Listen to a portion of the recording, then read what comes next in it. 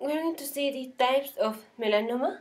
We have the superficial superficial spreading, the lentigo maligna, lentigo maligna, acral or mucosal, eh, mucosal lentiginous, lentiginous, and the nodular type.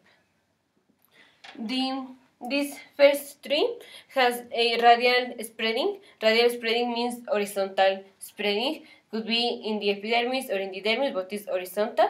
The nodular type has the vertical, uh, vertical growing, and this then has the worst prognosis.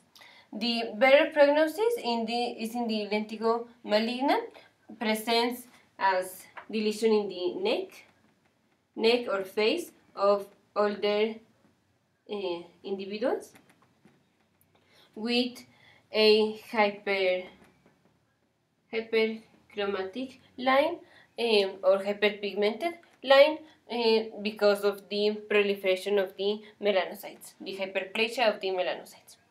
The superficial spreading is the most common type, most common, and presents in none in the back, classical location, and in the woman, the classical location is in the lower extremities. The uh, acral lentiginous, this is seen most commonly in Asian patients or Afro-American patients. Mm, most common is the most common type in the uh, patients with dark skin and presents with a lesion in the palms, soles, or underneath the nails and it would be painful.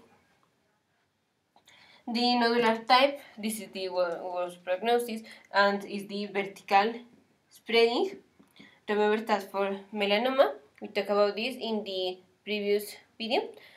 Eh, for melanoma, the, the, the factor that that indicates more severity of the disease and the prognosis of the disease is the vertical spreading that is measured with Breslow scale.